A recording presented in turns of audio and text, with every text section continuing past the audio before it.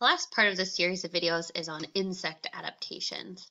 So insects in the rainforest, um, they diversify immensely because they're all competing for that kind of same space in the rainforest.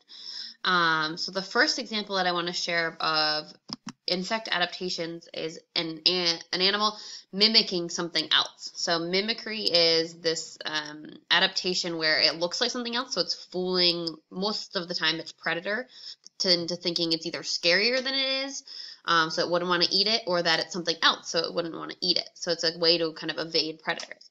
So these are different species um, of spiders. They have eight legs um, that are mimicking ants. Pretty crazy looking. Um, another one is this butterfly. It's called a glasswing butterfly.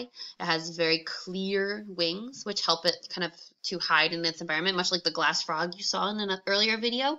So that is a kind of camouflaging adaptation. Pretty cool. I've only seen one of those, and they're really pretty. Um, this is another type of mimicry where one species evolves to re resemble another.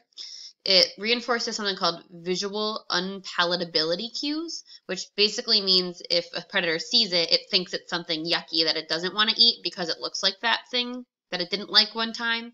So these are mimics of different heliconius butterflies um, that have developed to look a lot like one another to confuse their predators. These are really cool. Some of my favorite insects are leaf mimics. So one of the species, and actually several species of katydids, is this little green guy. This actually, this leaf-looking thing is actually its body. So it is evolved um, so much to look like a leaf that it can hide within plants very easily. This praying mantis um, has evolved to look like a dead leaf, so it can hide in decaying leaf matter. And then these leaf-footed bugs have these like flattened extensions on their legs to help them hide as well. So leaf mimics really do help them kind of stay camouflaged. Pretty cool. Um, you've probably heard of walking sticks.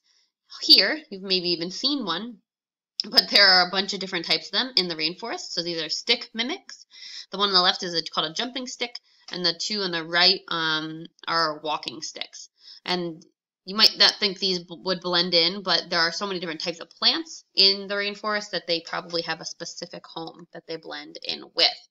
So those are just a few examples of insects. There's thousands and thousands and thousands of types of them, but those are my favorite examples there. So this is me on uh, the Oxbow Lake where those river otters were an earlier video. I just want to say thanks for learning about the rainforest. It is an amazing and wonderful place, and uh, by learning about it, you are spreading awareness, um, and you can now teach other people about it, and we can hopefully conserve our rainforest and save all of these amazing species.